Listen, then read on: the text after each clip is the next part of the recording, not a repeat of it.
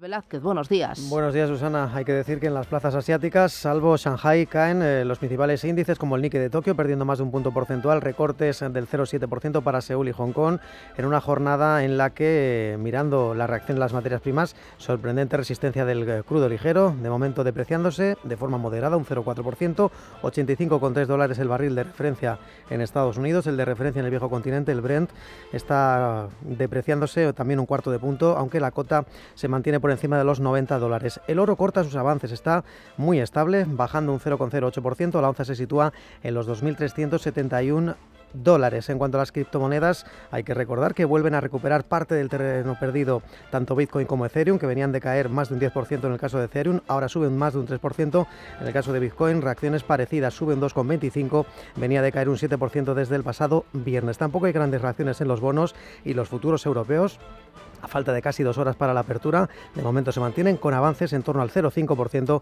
en el caso del DAX y del Eurostox 50. Desde principios de este año el DAX Setra acumula una subida del 7%, el oro suma desde enero un 13% y el petróleo acumula una revalorización desde principios de este año superior al 20%. Reacciones en lo económico y en lo político. ¿Cuál es la respuesta y la situación a esta hora?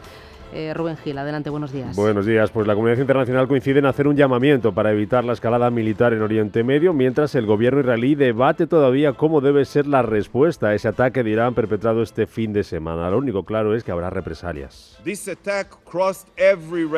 Este ataque ha cruzado las líneas rojas e Israel se reserva el derecho legal a tomar represalias. No somos una rana en agua hirviendo, somos una nación de leones, decía esta noche el embajador de Israel ante la ONU, Gilad Erdan, en la reunión de urgencia que ha mantenido el Consejo de Seguridad de la ONU, en la que su secretario general, Antonio Guterres, ha recordado que la ley internacional prohíbe las acciones de represalia que incluyen el uso de la fuerza.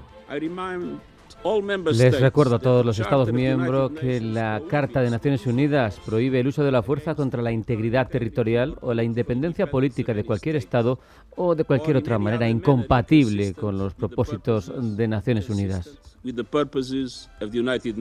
Por su parte, la Unión Europea pide no dar pasos en falso y Estados Unidos insiste en que no apoyará un ataque de Israel contra Irán y trabaja para que el conflicto no se extienda a otras regiones. John Kirby es el portavoz del Consejo de Seguridad Nacional de Estados Unidos. Diría que el primer ministro es muy consciente de que el presidente Biden no busca un conflicto con Irán, que el presidente no quiere que las tensiones sigan aumentando y que está haciendo todo lo que ha hecho desde el 7 de octubre para evitar que esto se convierta en una guerra regional más amplia. Y los países del G7 reunidos por videoconferencia condenan el ataque de Irán a Israel al que muestran su pleno apoyo pero apelan a la moderación. La crisis increciendo entre Irán e Israel, sumado a la creciente amenaza bélica desde Rusia de Putin hacia Ucrania y añadido a las incógnitas sobre el futuro de la OTAN que plantea el posible regreso de Donald Trump a la presidencia de Estados Unidos, han extendido entre los gobiernos europeos la urgencia de incrementar sus inversiones en materia de defensa. La Comisión Europea prepara un plan financiero extraordinario para financiar los mayores gastos en material que contendrá el compromiso de adquirir toda la nueva producción autóctona de este sector estratégico, así como la posibilidad de financiarlo con emisiones específicas de deuda comunitaria. El Consejo Europeo Extraordinario, que se celebra esta misma semana, va a debatir la redefinición de las prioridades básicas para garantizar el futuro del proyecto comunitario en un contexto de reconfiguración del tablero geopolítico global, con varios elementos en primera línea. Uno, inversión en defensa. Dos, inversión en renovables para alcanzar los objetivos de eh, sostenible y tres, relocalización de industria y también del sector primario para depender menos de otros mercados y de otras regiones.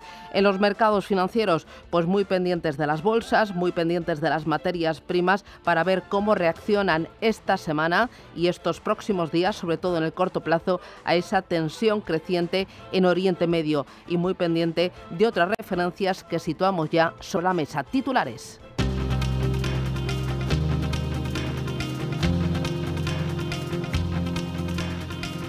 En Radio Intereconomía. Las noticias capitales. El Fondo Monetario Internacional y el Banco Mundial comienzan este lunes sus reuniones de primavera. En las que se revisarán al alza las perspectivas económicas globales para este año. La semana pasada, la directora gerente del FMI, Cristalina Georgieva, reelegida por cierto este fin de semana en el cargo, adelantaba que la economía mundial crecerá este año más de lo previsto gracias a la buena marcha de la economía de Estados Unidos y de varias economías emergentes. Verán en nuestro informe Perspectivas de la Economía Mundial de la semana que viene que el crecimiento mundial es ligeramente mayor gracias a la fuerte actividad en Estados Unidos y en muchas economías emergentes. A ello han contribuido la solidez del consumo de los hogares y de la inversión empresarial, así como la atenuación de los problemas de la cadena de suministro. Y la inflación está bajando an easing of supply chain problems helped and inflation is going down. El Banco de España publica su informe semestral de estabilidad financiera. Que va a recoger los riesgos del sistema financiero español, la rentabilidad y la solvencia de las entidades que viven un momento de ganancias históricas gracias a la subida de los tipos de interés y a pesar del impuesto a la banca que volvió a criticar la semana pasada la presidenta de la AEB, Alejandra Quinterán.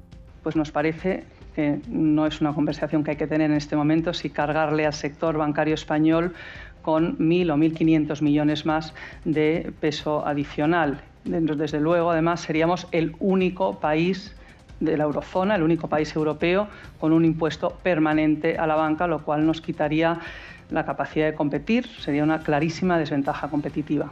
En la agenda económica del día, Eurostat publica la producción industrial de la zona euro. Además, vamos a conocer hoy el informe mensual del Bundesbank y en Estados Unidos las ventas minoristas de marzo y el índice Empire manufacturero de abril. A lo largo de esta semana destacan otras referencias como el IPC final de la zona euro. Vamos a tener también cifras de inflación en Japón y el Reino Unido, el PIB de China o el libro base de la Reserva Federal. En clave empresarial, Goldman Sachs presenta hoy sus resultados del primer trimestre del año. Y lo hace después de que el viernes tanto JP Morgan como Citigroup cayeran en bolsa tras presentar sus cuentas de los tres primeros meses del ejercicio. Esta semana también van a presentar resultados otras compañías como Morgan Stanley, Bank of America, Johnson Johnson, Louis Vuitton, L'Oreal o Netflix.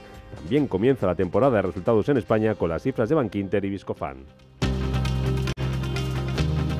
Pedro Sánchez se reúne hoy con el nuevo primer ministro de Portugal. Encuentro con el que ambos mandatarios quieren ratificar la conocida como Alianza Ibérica para defender asuntos de interés común ante la Unión Europea. La de hoy va a ser la primera visita de carácter oficial al extranjero del nuevo primer ministro portugués, Luis Montenegro, y además este lunes tiene que entregar su plan de estabilidad al Parlamento luso antes de ser enviado a Bruselas. El canciller alemán Olaf Scholz continúa hoy su viaje a China. Una visita de tres días en la que va a intentar rebajar la tensión económica entre Berlín y Pekín por las diferentes posturas sobre la invasión rusa de Ucrania. En Estados Unidos comienza el juicio penal contra Donald Trump. En el que el mandatario afronta cargos por pago irregular y falsificación documental por supuestamente pagar una actriz porno con la que habría mantenido una relación para que se mantenga en silencio. Trump se convertirá hoy en el primer expresidente de Estados Unidos juzgado por lo penal.